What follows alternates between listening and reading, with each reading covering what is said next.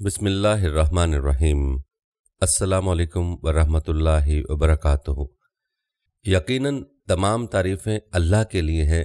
हम उसी की तारीफ़ बयान करते हैं और उसी से मदद के तलबगार हैं और अपने गुनाहों की बख्शिश भी मांगते हैं। नफसानी और बुरे अमाल के शर से उसकी पनाह चाहते हैं, जिसे अल्लाह ताला हिदायत इनायत कर दे। उसे कोई भी गुमराह नहीं कर सकता और जिसे वो गुमराह कर दे उसका कोई भी रहनुमा नहीं बन सकता। मैं गवाही देता हूँ कि अल्लाह के सिवा कोई मबूद बरहक नहीं। वो तन्हा है, उसका कोई शरीक नहीं। और मैं ये भी गवाही देता हूँ कि मोहम्मद सल्लल्लाहु वसल्लम अल्लाह के बंदे और उसके रसूल हैं। अल्लाह ताला आप पर, आपकी आल और साहब कराम पर ढेरों दरूद और सलामती नाजिल फरमाए। नाजिन क़यामत का एक दिन मुकर है, उस दुनिया का एक रोज़ अख्ताम होना है। मगर ये वक्त कब आएगा, किसी को नहीं मालूम। कुर्ब क़यामत के अलबत् कुछ निशानियाँ ज़रूर बयान की गई हैं, जिनके मुतलिक आपने भी सुन रखा होगा। मगर इसराइल यहूदी पादरियों ने एक अजीब शोशा छोड़ दिया। उनका कहना है कि दुनिया की तारीख में दसवें सुर्ख बच्चिया की पैदाइश हो गई जो इस बात का ऐलान है कि क़यामत बरपा होने को है। और उन्होंने तो दुनिया से रुखसती की तैयारियाँ भी शुरू कर दी हैं। इस हवाले से हमने अपनी पिछली वीडियो में बताया कि किस तरह सैमसन कार्टून में 2024 में होने वाले वाक़ात की पेशगोई की गई है। उन्हीं वाक़ात में एक अहम तरीन हैकल सुलेमानी की आखिरी मरतबा तामीर, इसराइल में लाल बच्चिया की कुर्बानी और थर्ड वर्ल्ड वॉर भी शामिल है। आज की इस वीडियो में हम बात करेंगे कि साल 2024 में क्या होने वाला है, मौजूदा हालात क्या हैं और आगे हमें किस जानब लेकर जा रहे हैं। आपको बताएँगे कि मौजूदा हालात और आने वाले हालात के बारे में रूहानी शख्सियत नेमतुल्ला शाह वली ने क्या पेशगोइयाँ फरमाई? और ये पेशगोइयाँ किस तरह से सच्ची साबित हो रही? हैं आज की वीडियो इंतहाई अहम है, लिहाजा वीडियो को आपने स्किप नहीं करना और आखिर तक लाजमी देखना है। नाजरीन, हज़रत नेमतुल्ला शाह वली की पेशगोइयों के हवाले से भी आपको बताएँगे, लेकिन पहले बात करते हैं उस सुर्ख बच्चिया के बारे में, जिसके बारे में यहूदियों का कहना है कि वो पैदा हो चुकी है। नाजिन डेली स्टार के मुताबिक यहूदी मज़हब के मुमताज़ इदारे दी टेंपल इंस्टीट्यूट की जानब से ऐलान किया गया है कि सुर्ख बच्चिया की पैदाइश इसराइल में हुई है, जिसके साथ ये दुनिया के खात्मे का वक्त शुरू हो गया और कायनात अपनी ज़िंदगी के आखिरी मराहल में दाखिल हो गई है। अब यरूशलेम में थर्ड टेंपल की तामीर होगी, उसके सामने इस बच्चिया की कुर्बानी पेश की जाएगी और फिर मसीह का जहूर हो जाएगा।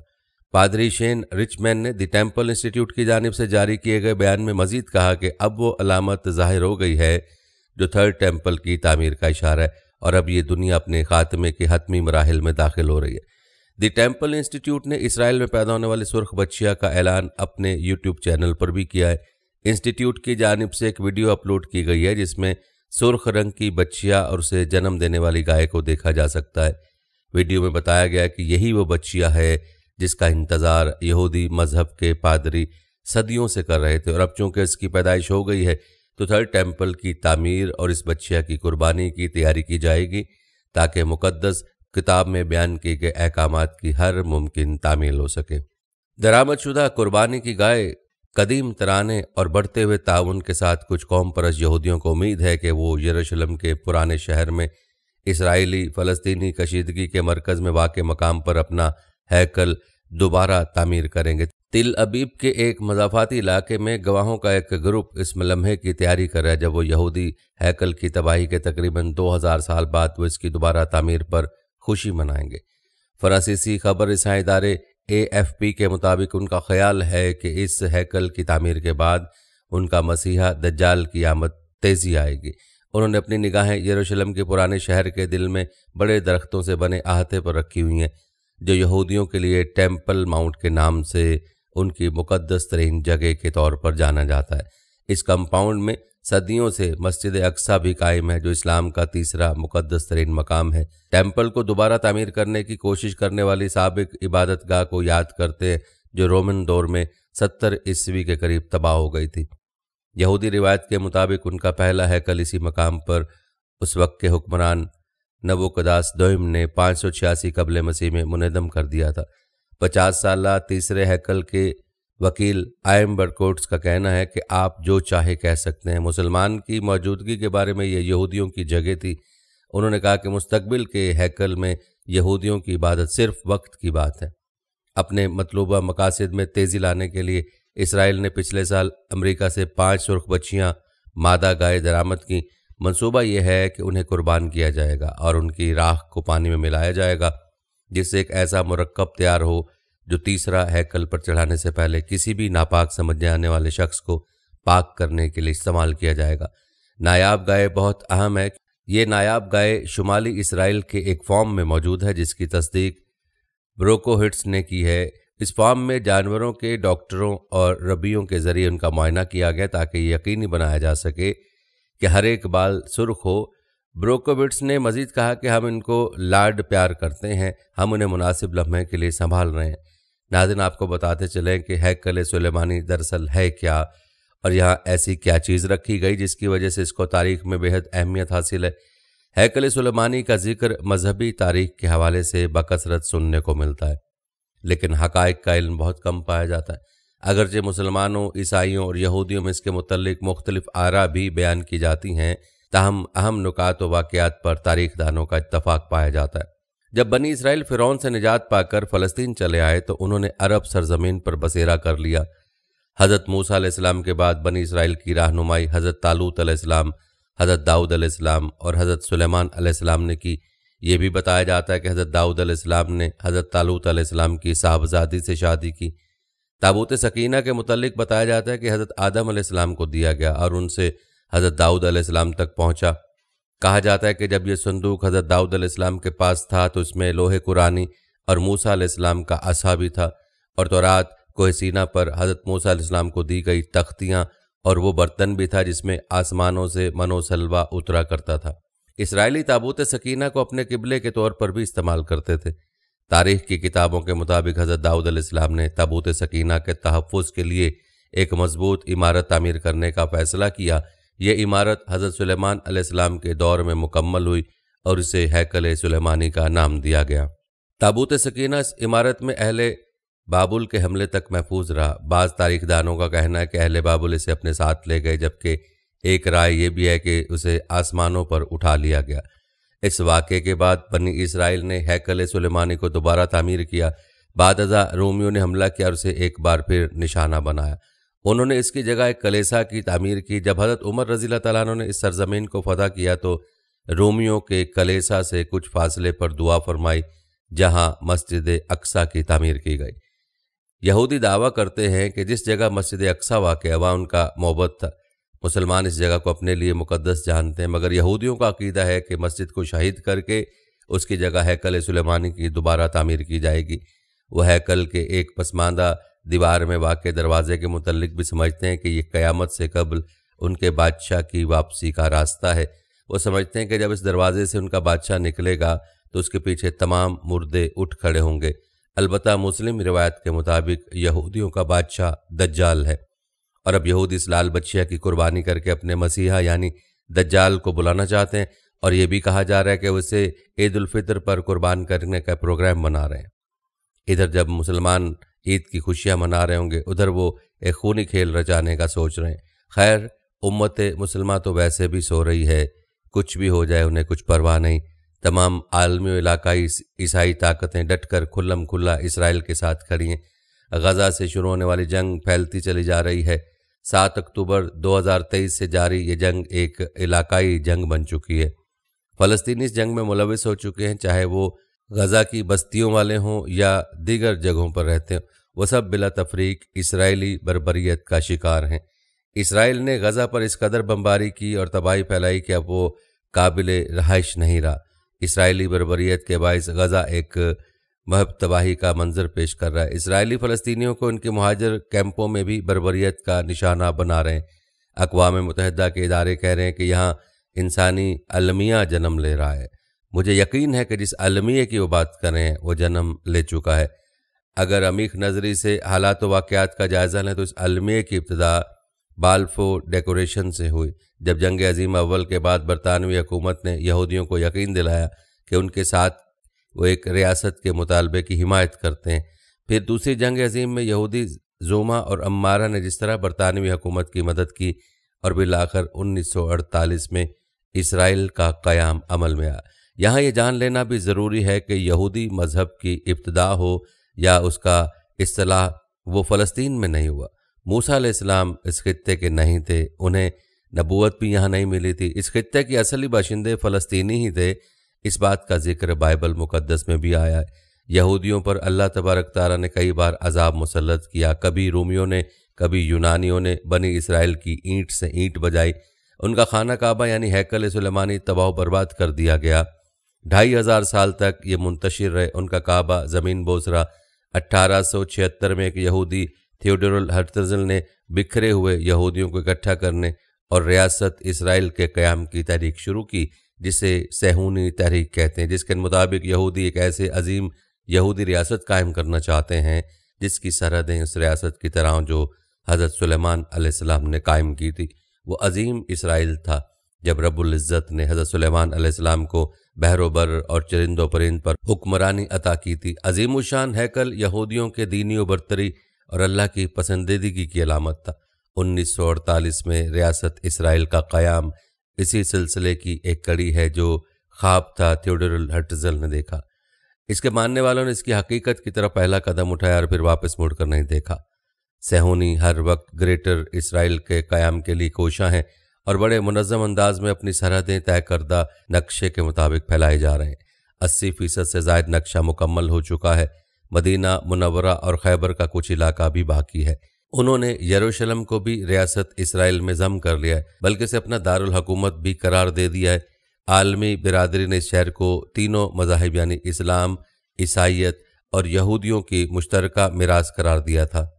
अब यहाँ वो तीसरा हैकल सुलेमानी की तामीर के लिए यकसू है, क्योंकि यहूदी अपनी निजात दहिंदा की आमद के मुंतजर हैं, जो उनकी आलमी हुकूमत की क़्यादत करेगा। इसलिए मोहब्बत की तामीर ज़रूरी है जैसे कि ढाई हज़ार साल बाद यहूदियों का इसराइल में यकजा होकर एक मज़बूत कौम बनना, अल्लाह की उन्हीं निशानियों में से जिसके मुताबिक उनकी अजमत रफ्ता की बहाली का वक्त आन पहुँचा है। वैसे हक सच बात भी यही है कि एक करोड़ चवालीस लाख यहूदी यानी बनी इसराइल के मानने वालों ने न सिर्फ़ एक अरब चवालीस करोड़ बनी इस्माइल के मानने वालों पर अरसा हयात तंग कर दिया है। सुप्रीम ताकत अमेरिका के करीबी फैसला साज इदारों पर उनकी गिरफ्त मज़बूत है।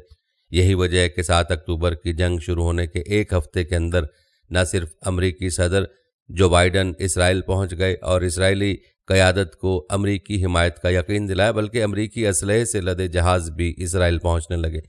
ऐसा ही कुछ बरतानिया और दीगर ईसाई ममालिक ने किया। ईसाई दुनिया मुकम्मल तौर पर इस रियासत के तहफ़ और उनके जराइम का साथ दे रही है, जबकि एक अरब व अजम के मुसलमान फ़लस्तियों के साथ खड़े नज़र नहीं आ रहे। पूरी दुनिया की आवाम फ़लस्तियों के हक़ में और उनके हक़ के खुद इरादियत के लिए इसराइली जुल्म सितम के ख़िलाफ़ मुजाहरे करें। कई ममालिक में तो यहूदी भी सहूनी रियासत के फ़लस्तियों के ख़िलाफ़ किए जाने वाले इकदाम के ख़िलाफ़ सराप एहतजाज देखे गए हैं। दुनिया के बड़े बड़े शानदार एहतजाजी मुजाहरे अमरीकी, फ्रांसीसी और यूरोपीय ममालिक की आवाम की तरफ़ से किए गए हैं। एंजलिना जूली जैसी मशहूर शख्सियत ने भी ईसाई दुनिया हुक्मरानों के इंसानी हकूक़ के बारे में दोहरे मैार पर तनकीद की है।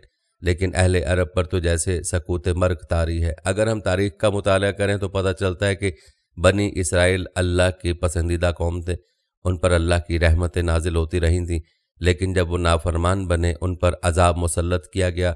अल्लाह ने उनकी मसीहाई के लिए उन्हें शिरक से निजात दिलाने के लिए अपना बंदा मसीह इब्न मरियम भिजवाया। वो किसी मसीहा के मुंतज़र भी थे, लेकिन उन्होंने ईसा इब्न मरियम की तकजीब की और अपनी तई सलीब पर चढ़ा दिया। यह आखिरी मौका था जो उन्होंने गंवा दिया। उसके बाद अल्लाह रब्बुल ने उन पर अजली ज़िल्लत तारी कर दी, उनका मोहब्बत ज़मीन बोझ कर दिया गया और उन्हें मुंतशिर कर दिया। ये बात ईसाई भी जानते हैं कि यहूदी ईसा इस्लाम के कातिल हैं। सदियों तक यहूदी ईसाइयों के हाथों ताज़ीर का निशाना बनते रहे। ईसाइयों ने इन्हें जलील और रांदा दरगाह समझते रहे। हती कि दूसरी जंग अजीम में ईसाइयों ने भी उन्हें बर्बाद किया। पूरी ईसाई दुनिया उनके साथ खड़ी है। उन्होंने सहूनी तहरीक के जेर असर पहले बरतानिया उज़मा को, फिर अजीम ताकत अमरीका को अपने साथ मिला लिया। ग्रेटर इसराइल कायम होने जा रहा है। उनका काबा तमीर होने को है। बस एक कदम और आगे बढ़ाने की बात है। लेकिन उनकी हतमी, कामयाबी ग्रेटर इसराइल के क़याम तीसरे मोहब्बत सुलेमानी की तमीर और मसीहा की आमद के राह में हायल हमास है। वो से मलियामेट करने पर तुले में किसी भी कीमत पर वो ग्रेटर इसराइल कायम करना चाहते हैं और इस बात से उन्हें कोई रोक नहीं सकता। एक अरब चवालीस करोड़ मुसलमान भी नहीं, लेकिन अल्लाह रब्बुल इज़्ज़त भी तो है। नाजरीन, दूसरी तरफ़ अगर बात की जाए तो साल 2024 की इस साल में कुछ ऐसे वाक़ात रूनुमा हैं जिससे सोशल मीडिया पर यह बात फैलाई जा रही है कि यही क़यामत का साल है।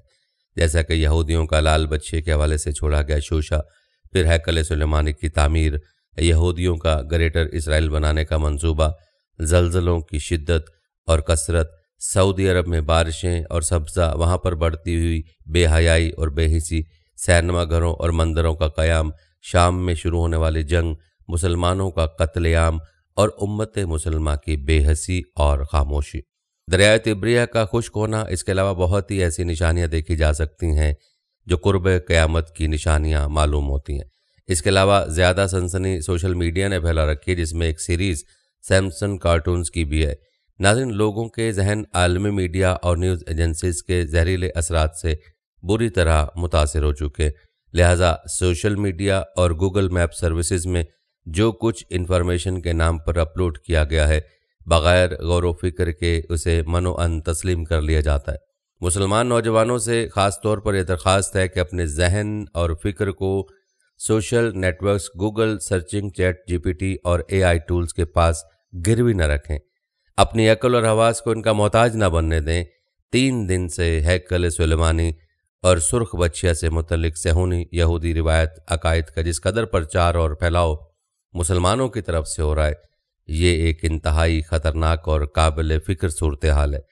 एक ऐसा अकीदा जिसका कुरान हदीस से कोई ताल्लुक नहीं, कुतब हदीस से कोई सनद नहीं, सिर्फ़ यहूदी तालीमत और तलमुद वगैरह में की गई खुद साख्ता तहरीकत ही इस अमल की तस्दीक को तायद करती हैं। वैसे मुस्लिम तबके की तरफ़ से इतनी अहमियत और ज़बरदस्त रिस्पॉन्स मिल जाना, मुसलमानों के अपने दीन से वाकफियत पर बहुत से सवाल और खदशात पैदा कर रहा है।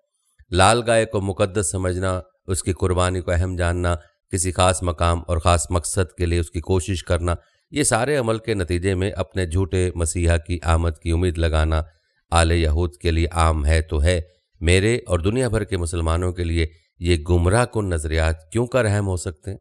जबकि खुद गूगल साहब भी इस मौजू पर सर्चिंग के नतीजे में सिर्फ़ इसराइली और यहूदी न्यूज़ और सेहूनी हवाला जात ही दिखा रहे हैं। एक ख़ास मौका पर जब अहल गज़ा की जिद्दोजहद और कशमकश ने मुस्लिम दुनिया का ज़मीर झंझोड़ा है तो उस वक्त आलमी फ़िक्र का रुख मोड़ने के लिए जो मुंतशिर मनसूबे सेहूनी लॉबी की तरफ़ से रद्द अमल की सूरत इख्तियार किए जा रहे हैं, ये भी वैसा ही एक फितनांगेज अकदाम है।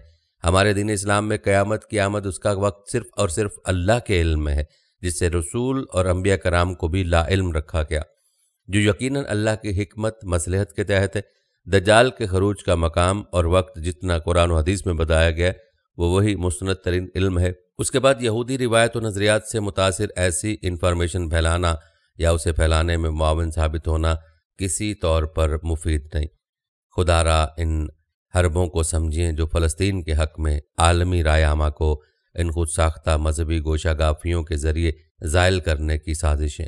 लाल बच्चे की पैदाइश कुर्बानी हैकल सुलेमानी की तामीर से जुड़ी कहानियाँ। आल यहूद के वो मन घड़त नज़रियात हैं जिनसे अल्लाह की तदवीन और तकदीर के फ़ैसले ने कभी नहीं बदलेंगे। क़्यामत एंड ऑफ़ द टाइम का इल्म भी खालिसता इसी अलीम व खबीर हस्ती के पास है और दज्जाल भी अल्लाह वाहिद व कहार की मर्ज़ी के बगैर न निकल सकता है, न सांस ले सकता है।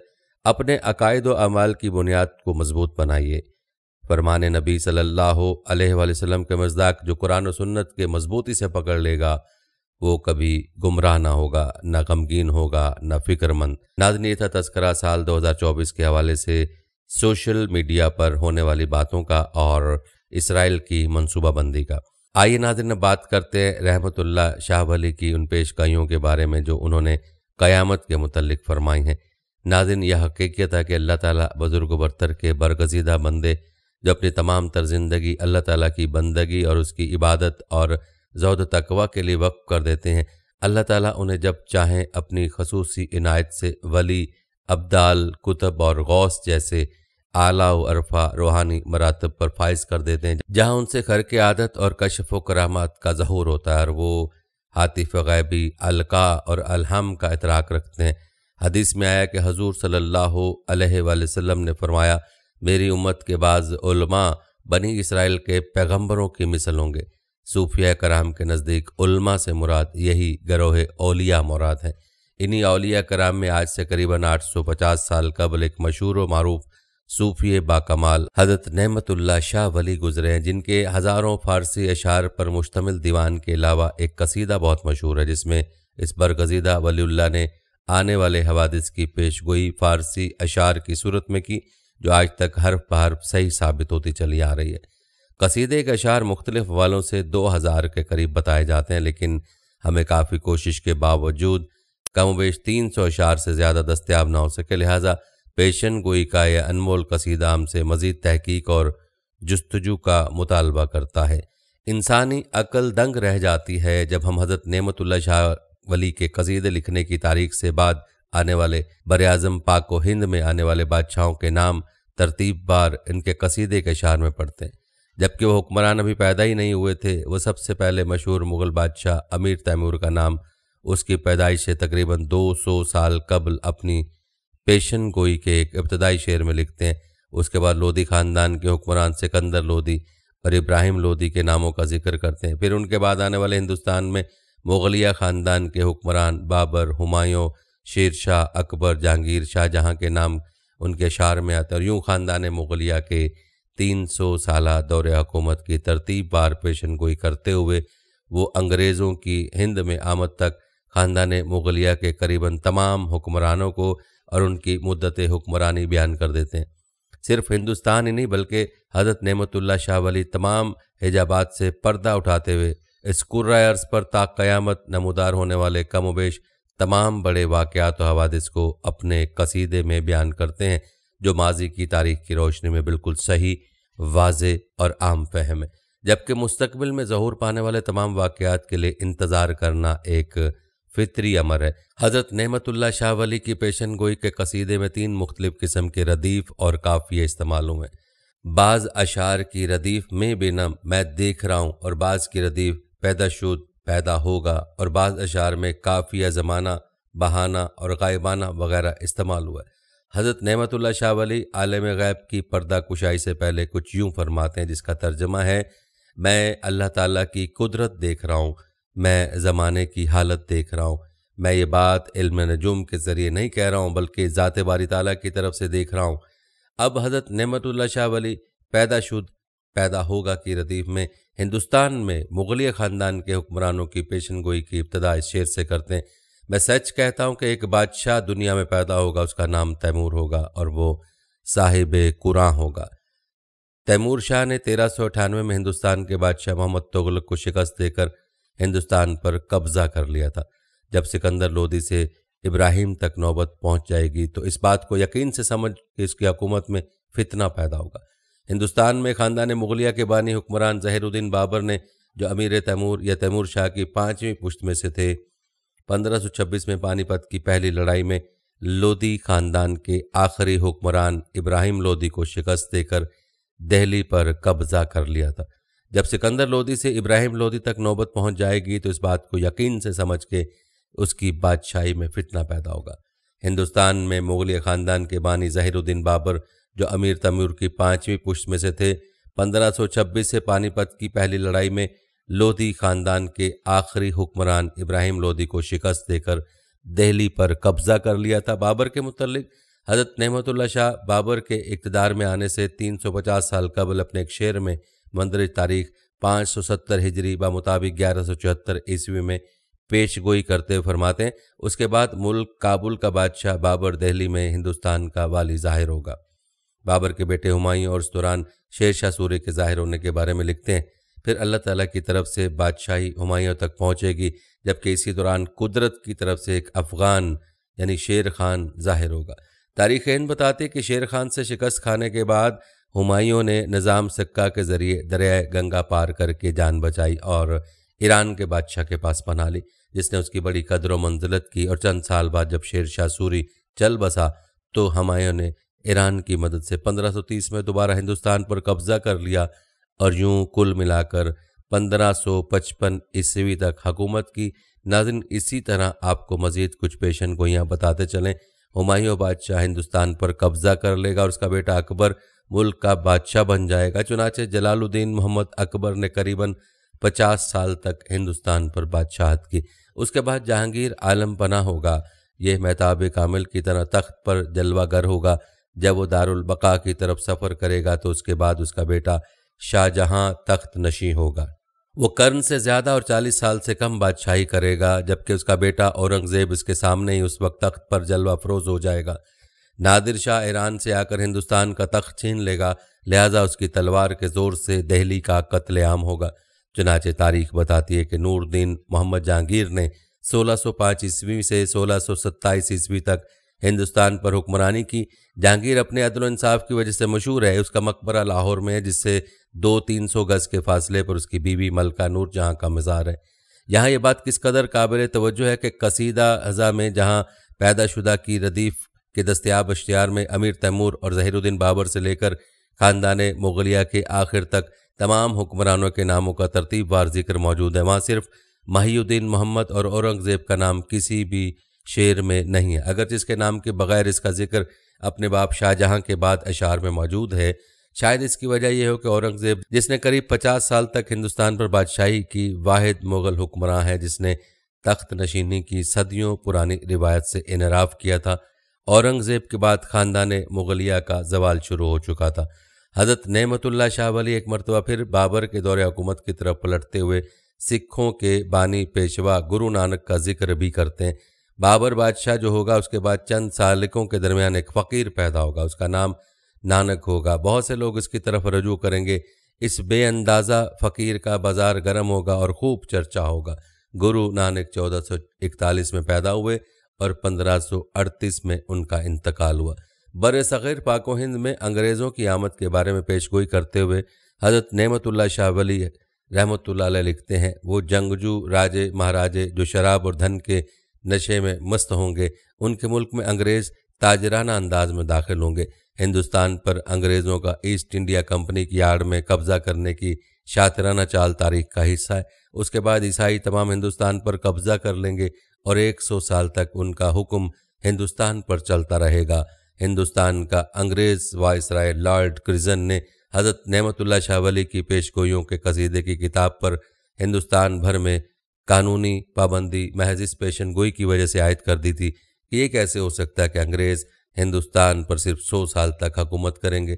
जंग अजीम अव्वल और दोम के बारे में पेशगोई करते हुए हज़रत नमतुल्ला शाह वली रहमत कहते हैं कि जंग जीम यानी जर्मन की जंग में आसमान ईसाइयों को मुबतला कर देगा और उनकी तबाही और बर्बादी का निशान ज़ाहिर होगा।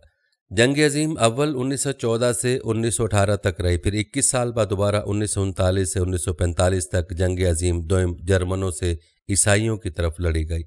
नादिन, एक और जगह पर वो लिखते हैं कि अगरचे अहले बरतानिया जर्मनों पर फतह पा लेंगे लेकिन जंग की तबाहकारियों से उनके निज़ाम हकूमत में बहुत ज़्यादा कमज़ोरी पैदा हो जाएगी। हज़रत नमतुल्ला शाह वली रहमत अंग्रेज़ों के बारे में आगे पेश गोई करते हैं। अगरचे अंग्रेज़ हिंदुस्तान को खुद ही छोड़ जाएँगे, लेकिन वो अपने मकरफन से लोगों में जानलेवा झगड़ा छोड़ जाएँगे। नाजिन, ख्याल यह किया जाता है कि इस पेश गोई में मसला कश्मीर का ज़िक्र है। नाजरीन क़याम पाकिस्तान का ज़िक्र इन पेश गोइयों के कसीदे में कुछ इस तरह किया गया है कि जब हिंदुस्तान दो हिस्सों में तकसीम हो जाएगा, इंसानों का खून बेदरग जारी होगा, शोर फितना इंसानी सोच से बैद होगा। मुसलमान अपने इसलाफ के इलाके, पंजाब, सिंध, सरहद, बलूचिस्तान में पनाह हासिल कर लेंगे। इस रंज और मुसीबत के बाद उनमें बख्तावरी ज़ाहिर होगी। क्या पाकिस्तान के बाद हज़रत नमतुल्ला शाह वली रहमत पाकिस्तान और हिंदुस्तान के दरमियान होने वाली 1965 की जंग की पेशगोई करते हुए बताते हैं कि सत्रह रोज़ की जंग के बाद अल्लाह ताला के फजल करम से इस्लाम के गाजी, खून रेजी करके और कुर्बानी देकर कामयाब होंगे।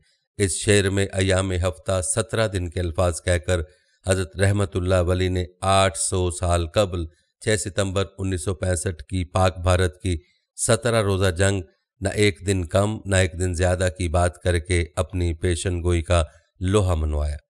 इसी के साथ अब रहमतुल्ला सौ इकहत्तर की जंग के बारे में पेशगोई करते हैं कि मशरकी पाकिस्तान हीलाकारों के फरेब से तबाह होगा, जबकि मगरबी पाकिस्तान वाले अपने संग दिलाना फैल पर गरिया बाजारी करेंगे।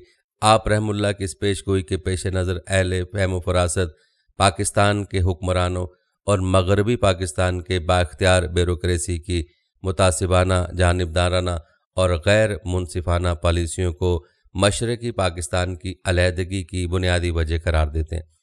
अब मजीद फरमाते हैं कि वो कीना परवर मनिया इंदिरा गांधी, जिसका नाम गाफ के हर्फ से शुरू होगा, उसके नाम के कुल छः हरूफ होंगे। गाफ, अलिफ, नून, दाल, हे छोटी ये होंगे और वो अपने मकर मकारी से यकीनी तौर पर फाते होंगे। नाजरन, अब हम हज़रत नहमतुल्ला शाह वली रहमत लेकिन पेशन गोइयों का ज़िक्र करते हैं, जिनका ताल्लुक़ पाकिस्तान के मुस्तकबिल से। इन पेशन गोइयों के मुताबिक पाकिस्तान में क्या होने वाला है? ज़रा गौर से सुनिएगा। नादिन आप रहमतुल्लाह ने अपने एक शेर में यूँ पेशन गोई फरमाई है मुहर्रम के महीने में मुसलमानों के पास हथियार आ जाएँगे। मुसलमान उस वक्त जारहाना कदम उठाएँगे। तुर्की, ईरान, अरब और मशरक वस्ती वाले इमदाद के जज्बे से दीवाना मार आएँगे। चित्राल, नांगा पर्वत, चीन के साथ गिलगत का इलाका मिलकर तिब्बत का इलाका मैदान जंग बनेगा। नाजरीन, आपको बताते चलें कि भारत पूरी तरह पाकिस्तान के शुमाली इलाका जात का, जिनका नमतुल्ला शाह वली ने ज़िक्र किया है, शदीद फितन फसाद फैला रहा है। इन इलाकों में अलहदगी पसंद तहरीकों को हवा दी जा रही है और पाकिस्तान के शुमाली और कबायली इलाकों में तहरीक तालिबान के खारिज की हिमायत भी इसी भारतीय साजिश का नापाक हिस्सा है। आप मजीद फरमाते हैं कि तुर्की, चीन और ईरान वाले बाहम यकजा हो जाएँगे। ये सब तमाम हिंदुस्तान को गाजियाना तौर पर फतह करेंगे। ये च्यूटी और मकड़ियों की तरह रातों रात गलबा हासिल करेंगे। मैं कसम खाता हूँ, अल्लाह ताला की कि मुसलमान फातह कौम होगी। ये वाजे नहीं कि मुहर्रम का माह मुकदस किस सन में आएगा। मगर नहमतुल्ला शाह वली रहमत के मुताबिक इस मुहर्रम हराम के महीने में पाक फौज, पाकिस्तान फौजी लिहाज से इंतहाई मज़बूत पोजीशन में होगा और दुश्मन के लिए शमशीर बरहना साबित होगा। इन शार की पेशन गोइयों में गालिबा गजवा हिंद का ज़िक्र है, जिनके बारे में आदि से मुबारक में भी वाज तौर पर बताया गया आप रहमुल्ला की पेशगोई के मुताबिक मुल्क हिंदू में एक फितना होगा। एक फितना पैदा होगा तो गाजियान इस्लाम, ईरान जहाज़ लेकर उठ खड़े होंगे। कहते हैं कि हिंदुस्तान में एक बगावत पैदा होगी। एक फसाद बर्पा होगा और इस फसाद के नतीजे में मुसलमान गाजी ऐलान जंग करके हिंदुस्तान से बरह रास्त तसादम करेंगे। यूँ गजवा हिंद का बाकायदा आगाज़ होगा। महक्कीन के नज़दीक हिंदुस्तान में बर्पा होने वाली ये साजिश हो सकता है कि सिखों की बगावत हो। ये मुमकिन है कि हिंदुस्तान में कोई बड़ी दहशत गर्दी की कार्रवाई या हादसा वाक़ हो जाए। और उसके नतीजे में बहुत बड़ा फसाद बर्पा हो जाए। इस हादसे या साजिश के नतीजे में हिंद पाकिस्तान के खिलाफ ऐलान जंग कर देगा और फिर पाकिस्तान से भी पाक फौज और मुजाहिदीन ऐलान जंग करते हुए मुकाबले पर आ जाएँगे। इस किस्म की पेशन गोई सिम्सन कार्टूज में भी की गई, जिसका तस्करा हम अपनी पिछली वीडियोस में भी देख सकते हैं। इसमें कोई शुबा नहीं कि भारत के साथ पाकिस्तान की अगली जंग इस तरह किसी बहाने से या दहशत गर्दी की बुनियाद पर ही शुरू होगी और मौजूदा हालात को देखते हुए नमतुल्ला शाह वली रहमत की पेश गोई यकीनी नज़र आ रही है। नादिन हज़रत नमतुल्ला शाह वली रहमत ने अपनी तवील पेश गोइयों के कसीदे में बहुत सी दीगर पेशन गोइयाँ भी की, जिनमें साइंस की बेमिसाल तरक्की, ज़राए मवासलात टेलीफोन, मोबाइल फ़ोन और इंटरनेट वगैरह, एटमी हथियारों की ईजाद और तबाहकारियाँ और तीसरी जंग अजीम के बर्पा होने के बारे में साफ़ साफ़ बताया गया। हैरत अंगेज़ बात यह कि आज से 800 साल कबल की जाने वाली इन पेश गोइयों में अमरीका, चीन, इटली, जापान और इंग्लिस्तान वगैरह जैसे ममालिक का नाम लेकर ज़िक्र किया गया। इन पेशगोइयों का सिलसिला हज़रत इमाम महदी आखिर जमा रजील तु की आमद और क़यामत तक के वाक़ात दर्ज हैं। एक और पेशगोई करते हुए आप मजीद फरमाते हैं कि मगरबी पाकिस्तान के मुसलमानों पर अल्लाह ताला का फजल ज़ाहिर होगा। उनके हाथ काम चलाने वाले आदमी बन जाएँगे। मौजूदा दौर में पाकिस्तान में कोई ऐसी गैर मामूली शख्सियत या दयानतदार सियासत तो पैदा नहीं हुआ, जिसे खराज तहसीन पेश किया जा सके। मजकूरा शहर के मुताबिक कौम के हाथ हकीकता अगर कोई काम चलाने वाला आदमी आया है तो सिर्फ़ डॉक्टर अब्दुल कदीर खान ही है, जिन्हें तमाम कौम अपना हीरो मानने पर मुतफिक है। किसी ने बजा कहा कि अगर कायद आज़म ने पाकिस्तान बनाया तो डॉक्टर कदीर खान ने पाकिस्तान बचाया। आज अगर हम पर दुश्मन हमले की ज़रूरत नहीं कर रहा तो उसकी वाहिद वजह डॉक्टर अब्दुल कदीर खान का बनाया हुआ एटम बम। जिसे पाकिस्तान दुनिया के एक सौ बयानवे ममालिक में सातवीं एटमी ताकत के तौर पर उभर आए हज़रत नमतुल्ला शाह वली की पेशगोई का अर्श जहाँ एक अलग बाप की हैसियत रखता है, वहाँ मुस्तकबिल के बारे में उनका शेर जिसमें साफ़ तौर पर दरियाए अटक, दरियाए सिंध का नाम लेकर उसे तीन मरतबा कुफ़ार के खून से भरकर जारी होने की पेशगोई की गई है। मुसलमान और कुफ़ार के दरमियान एक इंतहाई खून खूनरेज जंग को ज़ाहिर करता है, जिसमें अगले शहर के तनाजुर में मुसलमानों को फतह हासिल होगी। लेकिन इस शहर की तशरी उस वक्त तक तशना लब है जब तक जोग्राफियाई और वाक़ाती लिहाज से इस अहम नुक्ते पर गौर न किया जाए कि भला कुफ़ार के ख़िलाफ़ मस्कूरा खूनरिस जंग आखिर पिशावर से सिर्फ़ चालीस मील दूर दरियाए अटक तक कैसे आ पहुँचेगी? जबकि दरियाए सिंध के मगरब में सिर्फ़ सूबा सरहद, कबायली इलाका अफ़गानिस्तान और चंद आज़ाद जमहूरी रियासतें वाक़ हैं। जो मुसलमानों पर मुश्तमिल तो क्या अटक के किनारे कुफार से मजामत सिर्फ़ यही मगरब की तरफ़ से आने वाले मुसलमान करेंगे? दूसरा इंतहाई तशवीशनाक और हैरत अंगेज पहलू यह है कि अगर मगरब की तरफ़ से कोई कुफ़ार बादस कायाज तो फिर कुफार दरिया अटक तक पाकिस्तान के मशरक़ शुमाल मशरक़ की जानब से किन रास्तों या इलाकों से गुजर कर पहुँचेंगे? क्योंकि मकाम कारजार आखिर दरियाए अटक ही बताया गया नाजिन अलिया कराम और सूफिया कराम जो अल्लाह ताला के बरगजीदा बंदे होते हैं उन पर कब और किस वक्त जलालो जमाल की कैफियत तारी होती है? कब और कैसे वो हालात वजद में आते हैं? और कब मुकाशवा और मुजाहिदा और अलहम या अलका के ज़रिए उन पर गैब के पर्दे खुलते हैं? और किस तरह अल्लाह तबारक ताली उनको मुस्तबिल में झांकने का आला अरफा रूहानी मरतबा अता करते हैं? ऐसे बेशुमार सवाल और बहुत ज़्यादा कुरेद से अल्लाह ताला और उसके रसूल अलैहि वसल्लम ने इंसान को मना फरमाया है। हज़रत नमतुल्ला शाह वली रहमत ने अपनी पेशन गोइयों के कसीदे में पैदाशुदा, यानी पैदा रदीफ़ में खसूसी तौर पर बर सग़ीर पाको हिंद के रूनमा होने वाले गैर मामूली हालात वाक़ात से पर्दा उठाया। मगर अब उन्होंने वीराना, जाहिदाना और फातिहाना वगैरह काफिया के ज़रिए ज़्यादा वसत और वजाहत के साथ बर सग़ीर पाको हिंद और मलका इलाका जात में पेश आने वाले वाक़ात को ऐसा बेबाकाना तौर पर बयान किया कि इंसानी अकल दंग रह जाती है। आप फरमाते हैं, वो राह जो मैं बयान कर चुका हूँ, वो मोती जो मैं परो चुका हूँ, ये एक सनद है। ये मैंने इसलिए बयान किया कि अल्लाह ताला इस्लाम की यकीनन मदद करेंगे। मजीद फरमाते हैं, अगर तू उजरत चाहता है और अल्लाह की मदद चाहता है तो खुदा के लिए, अल्लाह के नेक बंदों के अकवाल की पैरवी कर। तो उस वक्त किसी को अहल हक न देखेगा। लोग चोर डाकुओं के सर पर दस्तार रखेंगे। ये शेर भी हाल, यानी मौजूदा दौर से मुतलक मालूम होता है। बाज़ात बात इशारा और कनाया में कही जाती है, ये शेर भी ज़माना हाल यानी मौजूदा दौर के बारे में हो सकता है। नाजन, ये थी कुछ नमतुल्ला शाह की पेश गोइयाँ जो माजी में सच साबित हो चुकी और कुछ पूरा होने के इंतज़ार में। नादिन क़यामत के बारे में इस्लामी अकीदा दीगर तमाम मजाहब के नज़रियात की नफ़ी करता है। इस्लाम के अकीदे के मुताबिक दुनिया के ख़ात्मे का इल्म अल्लाह ताला की ज़ात के सिवा किसी को भी नहीं है। अलबत् क़यामत से कबल उनके चंद अलामत ज़रूर वकू पजीर होंगे। उन अलामत में सैदना इमाम महदी का जहूर सैदना ईसा इस्लाम का आसमान से उतरना और ज़मीन से एक जानवर का निकलना जो बात करेगा, याजूज माजूज का जहूर और अल्लाह के गज़ब से उनकी हलाकत। सूरज का मगरब से निकलना वगैरह शामिल है। कायनात के अख्ताम के हवाले से इस्लामी अकीदा, कुरान और सुन्नत से साबित है। अलबत् इस्लाम ने इस सिलसिले में सदियों पहले जो नज़रिया दिया, आज साइंस के बयान करदा अंदाज से उसके करीब तर है। बहरहाल फिर भी असल इल्म अल्लाह पाक के पास है। हमें बस अपने अमाल की फ़िक्र करनी चाहिए और अल्लाह पाक से दुआ करनी चाहिए कि इस फितने के दौर में हमारे ईमान की हिफाजत फरमाए। आमीन। नाजन, ये थी हमारी आज की वीडियो। हम उम्मीद करते हैं कि आपको हमारी आज की वीडियो ज़रूर पसंद आई होगी।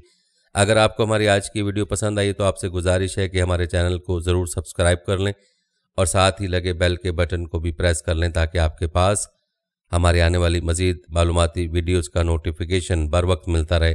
सब्सक्राइब के साथ हमारी वीडियो को लाइक भी करें और अपनी कीमती राय का इजहार कमेंट्स में ज़रूर कर दें। कमेंट्स में आप अपने सवाल हम तक पहुँचा सकते हैं। अल्लाह ताला आपको अपनी सम्मान में रखे। आमीन। आखिर में प्यारे दोस्तों, हर वीडियो के अख्ताम में हमने एक दुआ का सिलसिला शुरू किया हुआ है। जो भी इस दुआ में शामिल होगा, मेरा दावा है कि अल्लाह पाक उसके तमाम जायज़ हाजात को पूरा करेंगे। अपनी दुआ का आगाज़ दरुद इब्राहिम से करते हैं। आप सब दोस्त और बहनें पहले मेरे साथ मिलकर दरुद पाक पढ़ लें और कमेंट्स में आमीन लाजमी लिखिएगा। अल्लाह पाक उस आमीन को लिखने की बरकत से आपकी और मेरी तमाम जायज़ हाजात को पूरा फरमाएँगे। दुआ का आगाज़ करते हैं। बिसमीम अल्लाम सल महमद वाला महमदिन कमा सल इब्राहिम वाला अली इब्राहिम। इन्ना का हमिद मजीद अल्लाह मुबारक महमद वाला अली महमदिन कमा बारक ताला इब्राहिम। वाला अली इब्राहिम नकामिद मजीद। तमाम हमदो सना रब जुलजलाल के लिए है, जिसकी रहमत से नाउमीदी नहीं, जिसकी नेमतों से दामन खाली नहीं, जिसकी मगफरत से मायूसी नहीं, और जिसकी रहमतों का फैज़ान कभी रुकता नहीं। अल्लाह, तू पाक है, तेरा शुक्र अदा करते हैं। इस इकरार के साथ कि तेरे सिवा कोई मबूद नहीं, तू सबसे बड़ा है, तेरा कोई शरीक नहीं, और ना ही कोई हमसिर है। ज़मीन आसमान पर जितनी भी मखलूक़ात हैं तो सबका मालिक है, और तू सबको पालने वाला है। ए अल्लाह ए अल्लाह पाक बिलाशुबा तो हमसे मोहब्बत करता है। यही वजह है कि तूने हमें ईमान की दौलत से नवाजा, और हमें अपने महबूब सल्लल्लाहु अलैहि वसल्लम के सदक़े, हमारी ज़िंदगियों को पुरसकून, और हमें अपने महबूब सल्लल्लाहु अलैहि वसल्लम का उम्मती बनाए। या अल्लाह अपने प्यारे हबीब सल्लल्लाहु अलैहि वसल्लम के सदक़े हमारी ज़िंदगियों को पुरसकून और आसान बना दे। या इलाही हम सब के गुनाह माफ़ फरमा दे, हम सबको आबिद और सहरंगेज़ बना दे। फिर राज शोक आश्कार कर दे, हमें ग़ुलामी मुस्तफ़ा सल्लल्लाहु अलैहि वसल्लम से सरफराज फरमा दे, हमारे दिलों की वीरान बस्ती को अपनी रहमत से आबाद कर दे और हमें उस रास्ते पर हमेशा कायम रख जो नबी पाक सल्लल्लाहु अलैहि वसल्लम ने बतलाया, या अल्लाह या अल्लाह, हम सबको सच्चे दिल से तौबा करने की तोफ़ी कता फरमा दे। ए रब रहीम, हम गुनाहों की दलदल में डूब गए हैं, हम बदकारियों की मस्ती में गिर गए, हम मायूसी के अंधेरों में भटक रहे हैं। या इलाही या इलाही, या मेरे मालिक, हम मायूसी के अंधेरों में भटक रहे हैं। रहमत इलाही से खुद ही रूठ गए। अल्लाह, हम निदामत के आंसुओं से न आशना है। हम एक सच्ची तौबा के तलफगार हैं। अल्लाह पाक, अपनी रहमत से हमें वो सच्ची तौबा अता फरमा दे। ए पाक परवरदिगार, हमें, हमारे वालदेन को, हमारे अहल वयाल को, हमारे अबाउ अजदाद और हमारी आने वाली नस्लों को अपनी आफियत अता फरमा। हम सबको बेहिसाब रिस्क अता फरमा। हम सबको हासिदों के हसद से बचा। दोनों जहानों के मालिक जब हम थक जाएँ तो हमें आराम पहुँचा जब मुश्किलें बढ़ जाएँ तो आसानी बन जाना। जब हम कमज़ोर पड़ जाएँ तो हमारी ताकत बन जाना। जब हम दुख और तकलीफ़ में हों तो हमारा मरहम बन जाना। जब हम मायूस हो जाएँ तो हमारा भरोसा और यकीन बन जाना। जब हम भूख से निढाल हो जाएँ तो तेरी याद ही हमारी गज़ा बन जाए। जब हर तरफ़ बेचैनियाँ बढ़ जाएँ तो ए पाक परवरदिगार हमारा सकून बन जाना। जब हमारे अंदर मायूसी का अंधेरा भरने लगे तो उम्मीद की रोशनी बन जाना। जब हर चीज़ हमारे लिए नामुमकिन हो जाए तो हर चीज़ को अपने ख़ास फजल और करम से मुमकिन बना देना। ए अर्ज़ो समा के मालिक तो गफूर है तो रहीम है। हम सब की तोबा को कबूल करना। हमारे गुनाह सगीरा कबीरा को धोकर हमारे दिलों की हिदायत दे। हमारी ज़ुबान को दुरुस्तगी और नरमी अता फरमा। हम सबको गुनाहों से बचा और हमें नेक अमाल करने की तोफ़ी कता फरमाए। अल्लाह, जिस तरह तो बारिश बरसा कर सूखी ज़मीन की प्यास बुझाता, इसी तरह अपनी रहमत से हमारे दिलों को भी सैराब कर दे। बेशक तू बड़ा मेहरबान और नहायत रहम करने वाला है। ए पाक परवरदिगार, हम सबको हर उस नहमत से सरफराज फरमा, जिसमें हमें, हमारे लिए खैर बरकत हो। इज़्ज़त वक़ार हो, राहत व सकून हो, सेहत और तंदरुस्ती हो, तरक्की और खुशहाली हो, और दुनिया आखरत की भलाई हो। अल्लाह, हमारी ज़िंदगियों को मोहब्बत का उनवान बना दे कि हम सबसे ज़्यादा तुझसे मोहब्बत करें, तुझको फोकियत दें, तेरी इबादत करें, तेरा हुक्म माने, तेरे बताए हुए रास्तों पर चलें। यहाँ तक कि हमारी ज़िंदगी तमाम हो जाए, तू हमें अपने नूर से ढांप ले। वो नूर जो हमारे सीनों को मुनवर कर दे, वो नूर जो कब्र को रोशन कर दे, वो नूर जो पुलसरात पर रोशनी बन जाए। ए हमारे रब, हमको भी उन खुश नसीबों में शामिल कर दे। जिनकी तो तोबा कबूल फरमाता है, जिनके गुनाहों को तो अपने फजल करम और रहमत से नेकियों में तब्दील कर देता है। या अल्लाह, हमारे पास कोई और अमल नहीं है। हमें सिर्फ़ तेरी रहमत का आसरा है। या परवरदिगार, हमें अपनी रहमत में ढांप ले। ए बुलंदियों के बादशाह ए रब कायनात, हमारे दिल और हमारे कदम अपनी रज़ा की तरफ़ भेज दे। या अल्लाह, हमें वो अकल दे जो तस्लीम रज़ा में जाए। हमें वो दोस्त दे जो मंजिल तक हमारा साथ दे। हमें वो नस्बतें अता कर जो तुझे मंजूर हैं। या अल्लाह, अपने महबूब पाक सल्लल्लाहु अलैहि वसल्लम की हमारे दिलों में मोहब्बत अता फरमा। या इलाही, उस दौर में और आने वाले दौर में हम सब पर मेहरबानी फरमाना। या अल्लाह, हमारे दिलों को गफलत से दूर कर दे और हमको आखरत की तैयारी की फ़िक्र अता फरमा। इस दुनिया में और ज़िंदगी में अपने नबी पाक सल्लल्लाहु अलैहि वसल्लम का ताबेदार और मतीन हमको बना दे ताकि क़यामत में ज़िल्लत और रसवाई ना हो। या अल्लाह अपने मोमिन और मुखलिस बंदों के साथ हमारा हशर फरमाइए और दोजख के अजाब से हम सबको अपनी पनाह में रखना। ए परवरदिगार, हमको अमाल साले की तोफ़ी अता फरमा और अपनी रहमत से हमसे वो काम ले जिससे तू राज़ी हो और उन सब कामों से बचा ले जिनसे तू नाराज़ हो। या अल्लाह, शैतान की गुमराहियों से हम सबको कामिल तौर पर महफूज फरमा। ए रब करीम, हमारे हाथ तेरे सामने फैले हुए हैं, इनको अपनी शान के मुताबिक खैर बरकत और दुनिया व आखरत की हर तरह की भलाई और कामयाबी से भर दे। अल्लाह हमें हर वो चीज़ अता फरमा जिसकी हमें ज़रूरत है। अल्लाह पाक हमें अपने सिवा किसी का मोहताज ना फरमाना।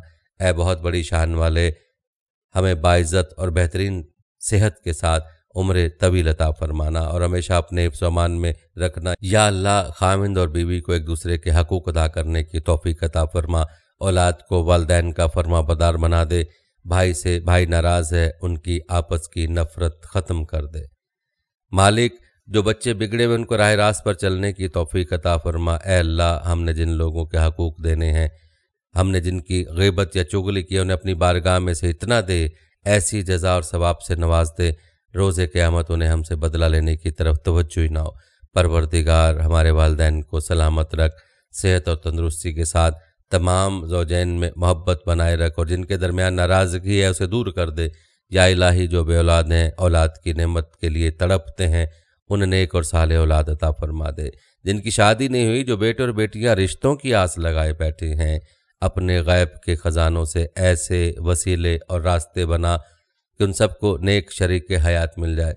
या अल्लाह जो मुसलमान परेशान हैं, जो परेशान हाल हैं, मुसीबत में हैं, अपनी लामहदूद रहमत व मेहरबानी से उनकी तमाम परेशानी, मुश्किल, मुसीबत और तंगी को दूर फरमा दे। है अर्जो समा के मालिक, हमारी टूटी फूटी दुआओं को न देख। हमारा जो तुझ पर यकीन कामिल है, उसको देख और आज हमारी तमाम दुआओं को, हाजतों को पूरा कर दे। हमें ऐसी मुआफ़ी दे दे जिसके बाद गुनाहों से नफ़रत हो जाए। हमें ऐसी हिदायत फरमा जिसके बाद गुमराही ना हो। हमें ऐसी कामयाबी अता फरमा जिसके बाद नाकामी ना हो। हमें ऐसी इज़्ज़त दे जिसके बाद कोई ज़िल्लत ना हो। हमें ऐसी खुशियाँ ता फरमा जिसके बाद तकबर ना हो। हमें ऐसी रज़ा दे जिसके बाद तेरी नाराज़गी ना हो। ऐसी रहमत अता फरमा जिसके बाद अजाब ना हो। ऐसी औलाद से नवाज़ दे जो नेक और बायस इज़्ज़त हो। ऐसा रिस्क अता फरमा जो हलाल और बरकत हो। और ऐसी मौत अता फरमा जो बायस मगफ़रत हो। अल्लाह, हमारी मगफ़रत फरमा दे। हमारे माँ बाप की मगफ़रत फरमा दे। अल्लाह, जिन्होंने हमें बड़ी मेहनतों से पाला, पोसा हमारी तकलीफ़ें उठाई। खुद भूखे रहकर हमें खाना खिलाया। तकलीफ़ में रहकर हमें आराम पहुँचाने की कोशिश की। ए अल्लाह, हमारी रोज़ी के हसूल के लिए जद्दोजहद और कोशिश करते रहे। अल्लाह, हमारी तरबियत के लिए उनसे जो कुछ हो सका। अल्लाह, उन्होंने हमारे लिए किया। अल्लाह, हमारी तरफ़ से हमारे वालदेन को जजाय खैर अता फरमाए अल्लाह, जिन इस के ज़रिए से तेरा कलाम पाक हम तक पहुँचा। अल्लाह, तेरे दीन का इल्म हम तक पहुँचा। अल्लाह उन तमाम लोगों की कब्रों को नूर से भर दे, अल्लाह उनकी मगफरत फरमा, उनके दर्जात को बुलंद फरमा अल्लाह अजाब कब्र से उनकी हिफाजत फरमा अल्लाह अपने महबूब और मकबूल बंदों में शामिल फरमा अल्लाह हमारी तरफ़ से उन्हें बेहतरीन जजा अता फरमा, उनकी नेकियों को कबूल फरमा, उनकी ख़ताओं से दरगुजर फरमा, उनके उनके सयाद को हसनात से मुबदल फरमा दे अल्लाह तुझे तेरे नबी का वास्ता, जिन्होंने हमारे लिए बड़ी कुर्बानियाँ दी हमारे लिए बहुत तड़पे, हमारे लिए तुझे बहुत कुछ मांगा। अल्लाह क़यामत तक आने वाली इंसानियत को कुरान की दौलत अदा की, इल्म की दौलत से सरफराज फरमाया, सारी इंसानियत की सही राहबरी के लिए, सारी ज़िंदगी के हसूल और निज़ाम को तरतीब दिया। अल्लाह, अपने महबूब की कुर्बानियों को कबूल फरमा और अपनी उम्मत की तरफ़ अल्लाह अपने बंदों की तरफ़ से, अपने नबी की बेहतरीन जजाय खैर अता फरमा।